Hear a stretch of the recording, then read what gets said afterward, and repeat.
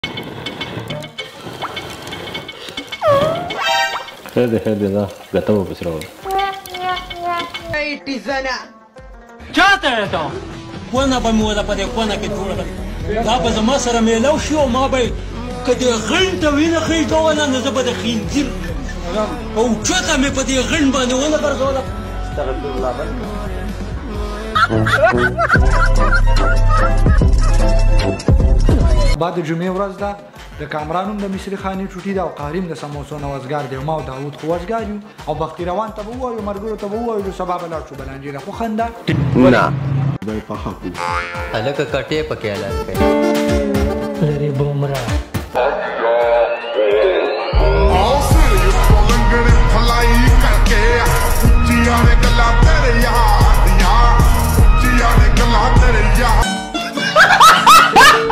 ترتیب کو وسره لا ټول وای کنه بس پیسې سلی هو بس تصودا روانه بیا به ما هم حساب دا دا ستا خبرې دي دا خور کله دړه ته لا دړه تر کړوسیا نه دا ته څه په کومه پکې رابطې کې وچ پوچو ولې چاته خر خو نه لوي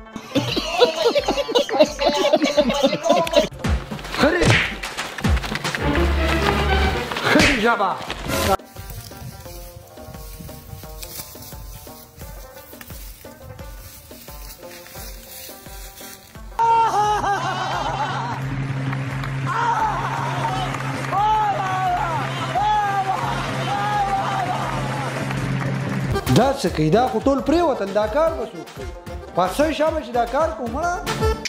نو نیور او مړ اوس د مرګرو سره بنداري لر راغلی ما سي ټینشن راته مه جوړوه لکه د خلو بچي مړ راشه دا کار وکړه چې دا انګار بل ول غواړي دا چرک سفر کول غواړي دا نور سامان دې مړ را پاسه چې تاسو مړ غب لګو یار نور په کومه کې دومره غرم نه لګا دا چل مکا په دې چل نه مې را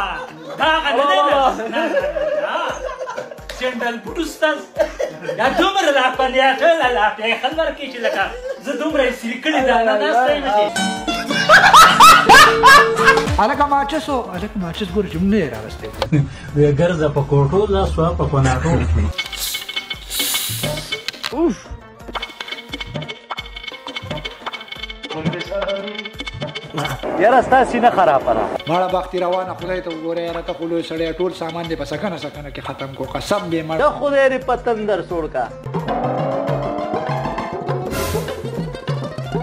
هلکه رورې چاول چې راواچول هلکه کامرانه دستا سیم خانک دی